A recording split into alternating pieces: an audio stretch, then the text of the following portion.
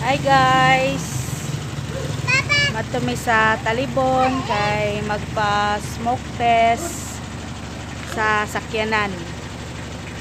So tara guys, ubanta ninyo.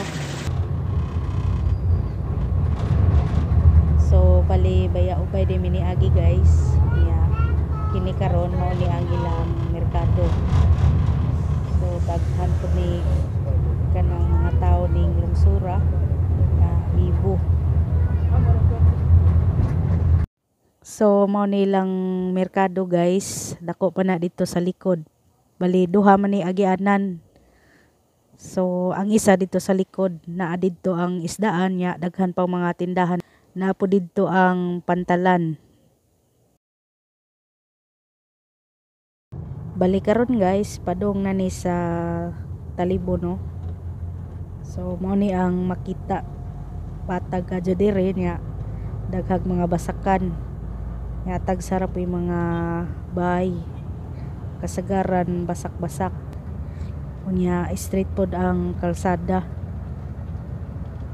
Mao ni imong maagian kung padong ka sa Talibon. So kung baya-ubay ka, mulabay ka una og Trinidad ay ha mabot sa Talibon.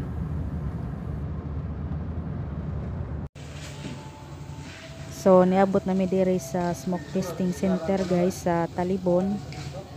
So diri mi nagpa smoke test kay kanang wa ka joy tao no, dili busy. Dili pareha sa tagbilaran nga grabe ang pila. So mao ni ang mga machine nga gamiton kung mag smoke test na.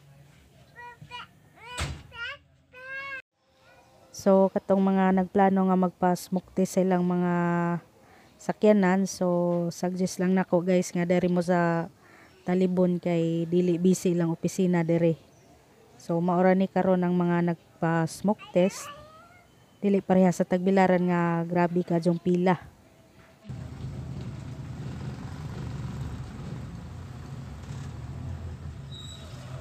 So bali mao na ang ilang simbahan unya sa ubos na na guys kay medyo mutugbong pa man ka na nadadto ang alturas.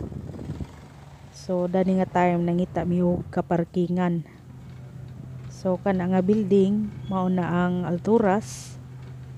So lisod pud makakita kaparkingan dari guys kay halos mga parking area puno-puno. Nya kini nga building mao ni ang alturas So ang ilang alturas dari ang ubos, merkado. So bali ang gi-occupy ra karing ibabaw.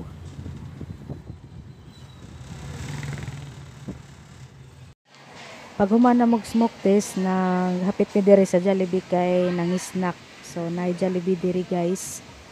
Kilid ra ni siya sa alturas. So mao na ang alturas nga tapad sa Jollibee. So nami diri sa taas diay guys kay bali uh, na may second floor ning ilang building.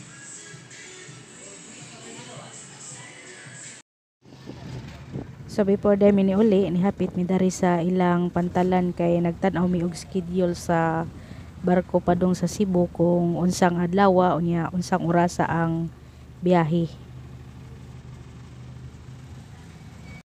So bali diri sa kilid guys na ay baywalk nila no. So kilid ni sa agyanan pasulod dito silang pantalan.